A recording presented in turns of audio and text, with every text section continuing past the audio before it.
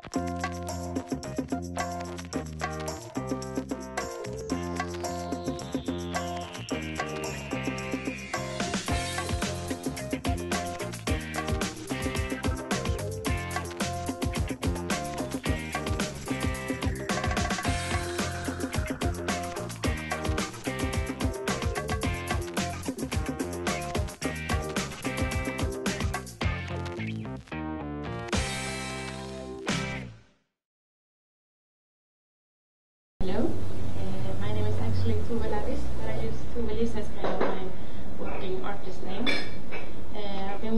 a freelance artist for a couple of years now, uh, and today I'm going to show some slides with a little bit of my work and also talk about today's topic, which is something that I like very much, and that's ink.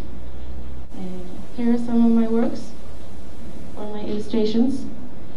Uh, as an illustrator, you can work with many different materials in many different ways, but I think ink is the best. It's my favorite. Uh, and I almost draw everything by hand uh, with ink pencils.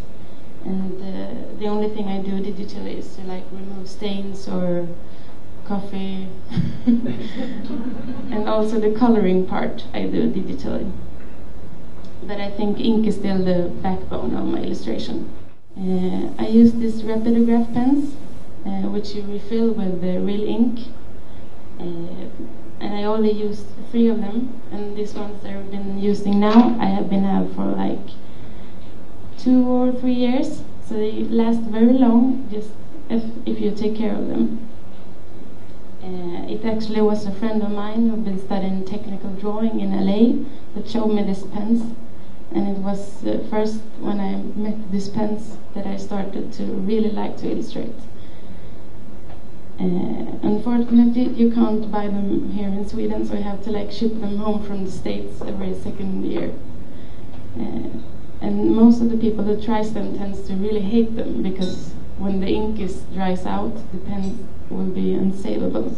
But as long as you take care of them and like use them frequently and clean them, they're lovely. and the best thing with ink, I think, is that it always has the same blackness. And when you use like regular black pens, it turns to get a little grayer, and the tip of the pen gets a little changes the line's thickness. With the, this kind of pens, the lines always has the same thickness. Yeah. And I thought I could show you some of my latest work that I've been doing this last couple of months. It's a coloring book for adults that went to print this Wednesday actually, so I'm very nervous and it's going to be out in store hopefully in the end of April. And I'm going to show you some slides of it. Uh, it's based on a home and everything that you have in a home. So here you have uh, some leaves from the garden and some sewing things from the living room. And here we have some clothes for the uh, wardrobe in the bedroom and some shoes from the entrance.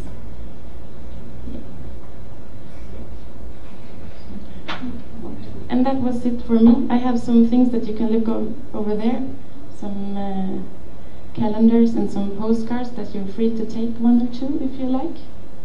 Thank you.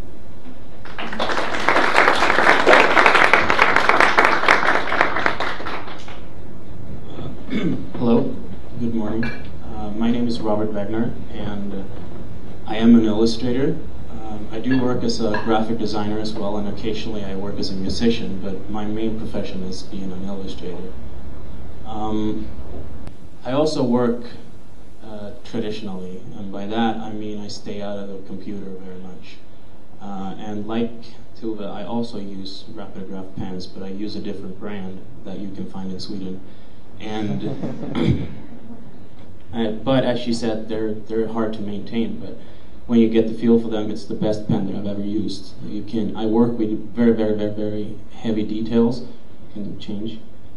Um, and these pens make it able for me to to do these fine details. Um, and I recently discover most of the time when I do stuff, I do uh, everything outside of the computer, uh, probably 85% of it. But recently, I started working more in the computer when it comes to logos, um, because I found out that vector graphics are really good for logos. Um, I've known that, but I tried to deny it for very long. Uh, but even though I do that in the computer, I still do most of the work outside of the computer. So the logo over there is a working sketch, and I probably worked like 80% on that, and the 20% is done in the computer. Um, and looking at ink, uh, I think that if you would wake up tomorrow and all the ink in the world would be gone, uh, I don't think that we're we don't we have to be afraid of that happening. But if it would happen, it would be no problem because I think if you're good at what you do, uh, you will eventually become good in a computer if you're good outside of the computer. So in that sense, it doesn't matter if ink runs out. Uh, but in another sense, I think ink is very important because it creates a more diverse uh, way of working um, in our creative community. So, and I'm all for diversity. Um, I brought some pictures from people that are not using ink to just to prove the way uh, I'm talking about uh, doing detailed stuff in, in a computer. This is a guy called Ken Taylor. He does a lot of, everything is done in Illustrator. This is vector graphics, all of it. Uh, the next one is DKNG Studios, and this is also, everything is detailed and it's all digital. Uh, and the last one is a girl called Jessica Siemens, and she's kind of a hybrid. Uh, she does some work in the computer and some work outside of the computer. Um, so yeah, that's that's mainly it. I think that's all for me.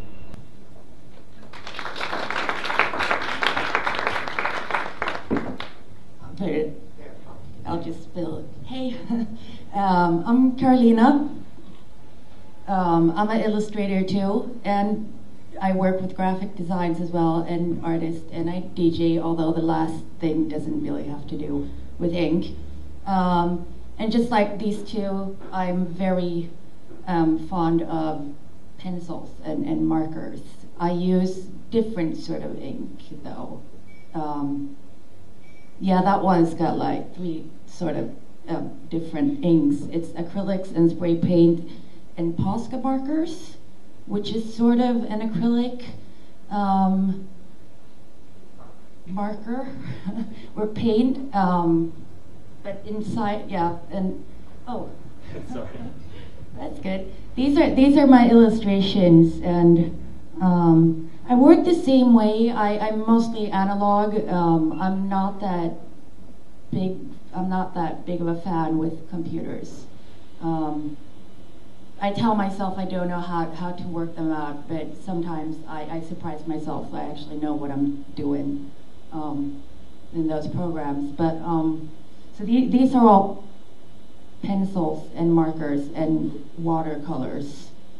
I think I use spray paint actually on some of them, like real spray cans on paper. I, I, I use really cheap paper because um, I don't know. I just I just like the way it gets kind of. I like the contrast.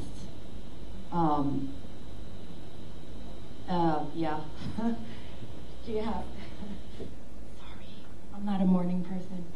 Um, this is a commissioned wall I did at um, a office space here in Malmö.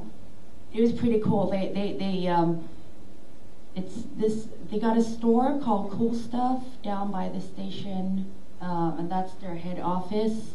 And they wanted space, Planet of the Apes, and ver- and robots. That's the theme they wanted. So. Like, go nuts with that. There's a monkey, there's an ape.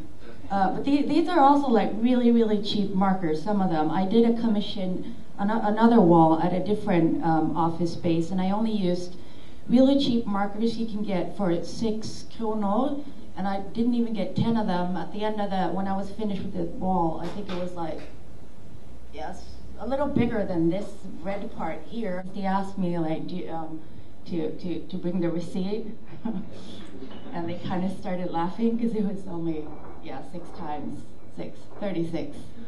I'm not a math person either. Um, I, I like mixing different sort of inks because it's different textures, it's different.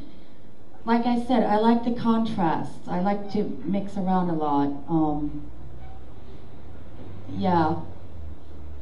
Um, hi.